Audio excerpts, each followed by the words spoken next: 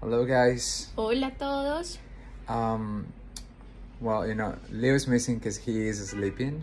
Leo ya cayó, él ya está durmiendo, entonces no nos acompaña en este video. Um, but we we want to wish everyone here Pero queríamos desearle a cada uno de ustedes a happy new year. un feliz año nuevo. The Bible says in 1 Corinthians 2 La Biblia dice en 1 Corintios 2 that what eyes has not seen, que, no, que los ojos no han visto or what the ears have not heard, y que ningún oído ha escuchado and what has not come to the heart of man, y no, no ha venido al corazón del hombre.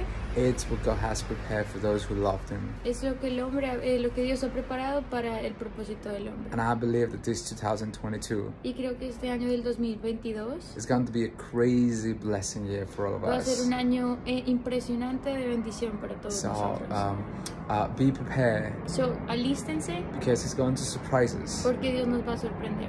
And I'm, I'm also want to extend my uh, my love to everyone También quiero extender mi amor a todos that um, it's been experiencing uh, difficult times to, during this 2021. que están experimentando tiempos difíciles en este 2022 And I just wanted to let you know y queremos hacerles saber that our God, que nuestro Dios, our Father in heaven, nuestro Padre en el He cielo, is with you. Él está contigo, He's walking with you. Él camina contigo.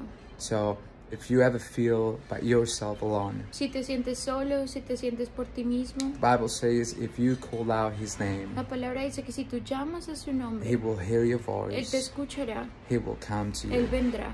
So wishing you uh, a Attorney Street family So, a familia Attorney Street Church les deseamos and a happy new year. un feliz año nuevo And uh, we hope to see you this Sunday, y esperamos verles este domingo 10:30, a las diez y media and we're going to celebrate what the Lord has for y vamos a us. celebrar lo que el Señor tiene para nosotros. You want to say something now? Yes. Um, we thank God Eh, agradecemos a Dios for an opportunity por una oportunidad to experience this year together with you. de experimentar esta oportunidad juntos con ustedes. The Lord has stretched us, De- El Señor nos ha tocado, He has touched us, Él nos ha tocado and He will continue to y do Él va a continuar We enseñándonos. love you and wish you a, a, a happy new year. Los amamos y les deseamos un feliz año.